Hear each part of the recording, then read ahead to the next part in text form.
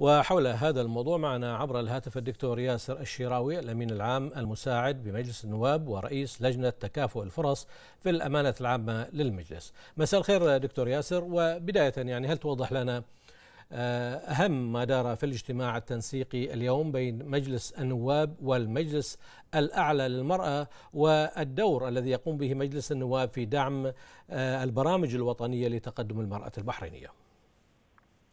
يا هلا مساء النور. آه، مشكورين على إتاحة الفرصة للمشاركة اليوم.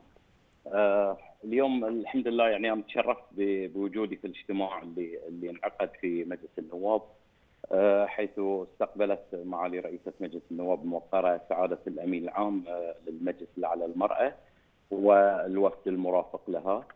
وأكدت اليوم آه، معالي الرئيسه على على يعني استدامه التنسيق المثمر بين المجلسين مجلس النواب والمجلس الأعلى للمرأة لما فيه خير ومصلحة ودعم المرأة البحرينية وتقدمها وانطلاقها آه، وهذه كلها من مبدأ تكافل الفرص والتوازن بين الجنسين طبعا.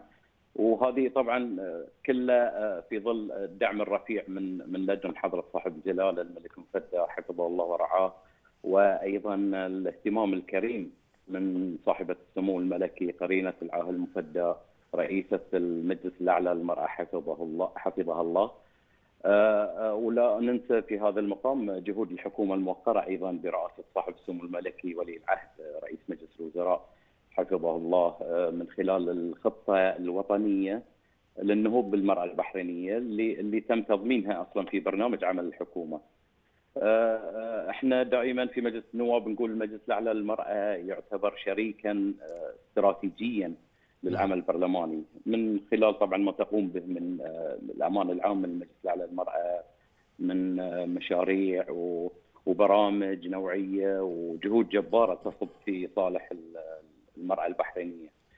آه، اليوم تم يعني بحث سبل التعاون بين المجلسين نعم. من خلال مرئيات السلطه التشريعيه حول التشريعات اللي تدعم الاستقرار الأسري و وأيضا تم التطرق إلى العضويات الدولية للمملكة آه، في مجال متابعة تقدم المرأة البحرينية.